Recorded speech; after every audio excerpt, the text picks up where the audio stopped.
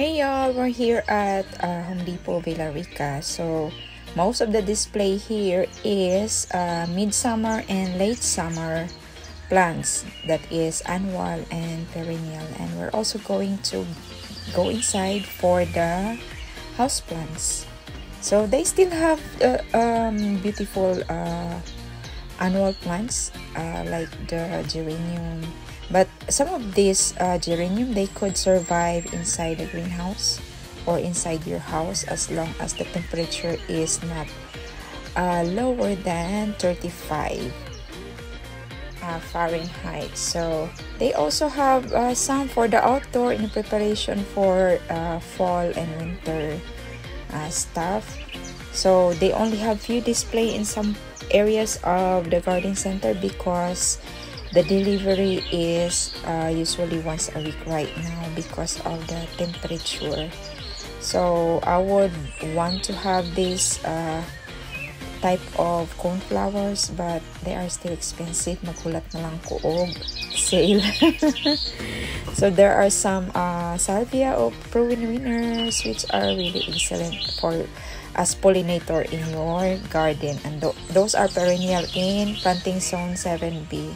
So you probably have to check uh, your planting zone before you purchase para alam nyo kung uh, perennial at annual. And then always check the label because the instruction of planting is also there. Or if you know the name then you can just google it.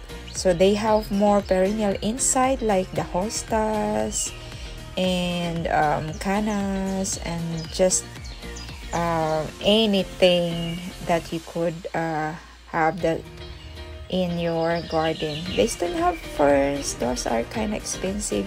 Pero that is just common in the Philippines.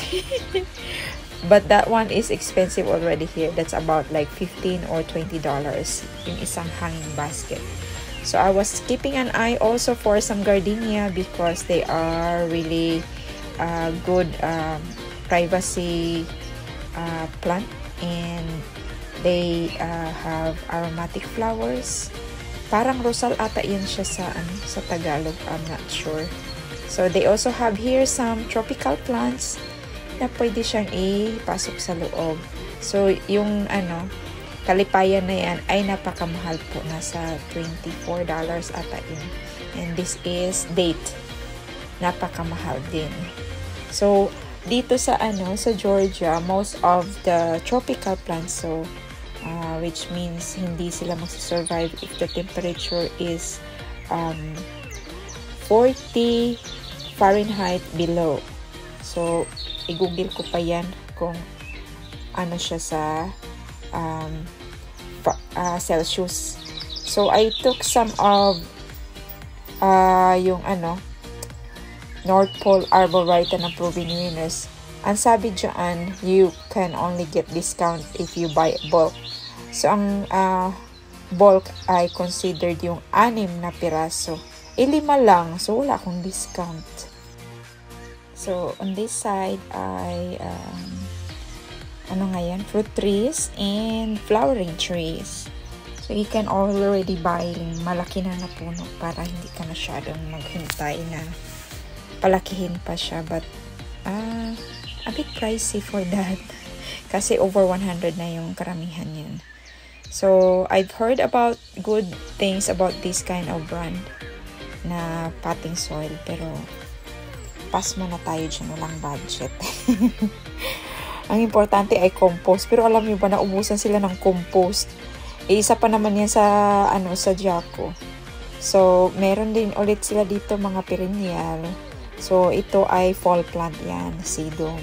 Maganda yung flower niya. I will uh, make a video of that uh, on my garden tour.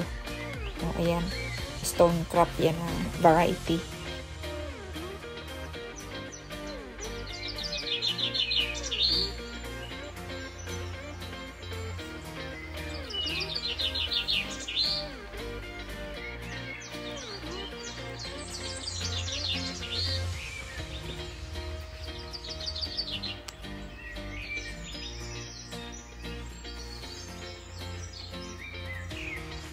They got more uh, potting soil, mga mulch, at saka madami na ulit siyang ano, uh, mix ng perennial at, at saka annual dito na side.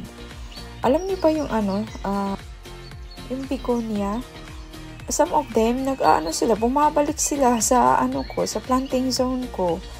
Lalo na pag naanuhan siya, nalagyan siya ng mulch o kaya natabunan siya ng mga dead na mga dahon bumabalik siya sa susunod na ano na taon. At saka yung mga coleuses, uh, kadamihan nung sa akin nagsisids. Kaya lang, nabubunot ko ulit siya pag ano, pag spring. Kaya yung early summer. Kaya, bib bibili na ulit ako ng ano, bago. Ay nako. Pero ano kasi, uh, yung point ko is, wag ko nang padamihin yung, o hintayin na mag-seeds yung uh, damo, baka kasi ano, hindi ko na mahabol-habol pag ano, dadami lalo. So, ayan. Uh, may mga roses pa sila dito. Pero they have limited na ano. Ito, santan. Gustong gusto ko sana. Kaya lang, medyo masayangan kasi ako isipin mo yan. $16. Exora. Ew ewan ko tama ba pagka-pronounce. Yan yung pangalan niya sa English. Tapos, ito pa more, uh, um, tropical plants na napakaganda. Sa atin ay napaka-common lang yan. Pero dito super mahal na.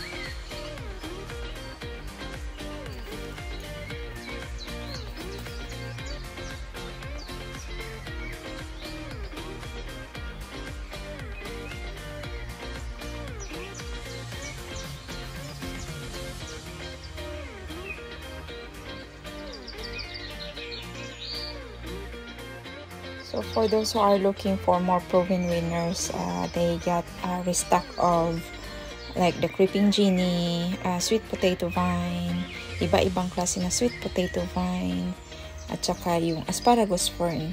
So they got more uh, yung ginger na family. Ayan, ang ganda niya pero that is annual. Unless siguro kung ipasok mo siya sa bahay or sa greenhouse. So, pupunta dito tayo sa ano, sa side ng mga uh, garden tools at saka mga hose kasi kailangan ko ng hose para sa aking uh, hose reel. Ayan. Hanap tayo ng medyo afford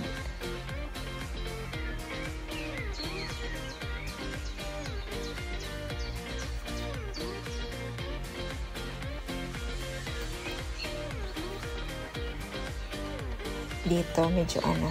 Ito napansin ko. Tapos, tinignan ko, parang interesting. Ang mahal pala niya, $69. So, pumasok na tayo dito sa may mga house plants. So, meron na silang display of uh, seeds for fall.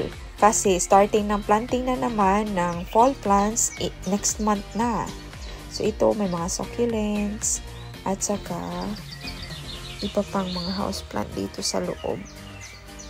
Mga cactuses at saka kung ano-ano. Napakamahal. So hanggang tingin na lang ako dito. Kasi hindi pa naayos yung greenhouse ko. So tingin-tingin ulit. Basa-basa ako sa mga fertilizer kasi nag-explore ako ng ibang fertilizer na ano ba, mata mataas sa potassium, ganon para sa aking ampalaya at saka sa aking garlic kasi masiba po sa uh, sustansya.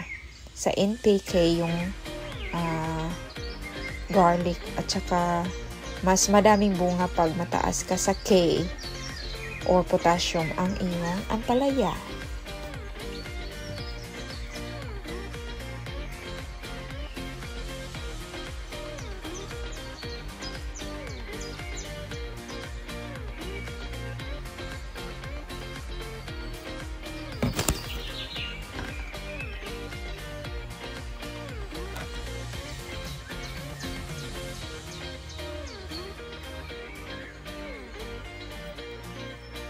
Ayan mga pang ano pest at saka mosquito repellents. Mga starting pots, mga more house plant. Ayun yung ano, mga smaller sizes ng we call this kalipayan sa aming probinsya. Ang ganda niya dito. Uh, that is considered uh, ano, mabenta siya sa fall. Yan, mga orchids. Pero naka-ano na ako. Naka-try na ako ng orchids. Hindi siya magtatagal sa akin. Pang outdoor talaga yung ano ko, yung kamay ko. So, they got more yung mga rare na uh, houseplants. So, abangan nyo yung pagtanim namin ng North Pole Arborvitae doon sa ini-improve namin na side ng property. Thank you for watching! So don't forget to comment, like, and subscribe sa mga hindi pa nakasubscribe. Bye!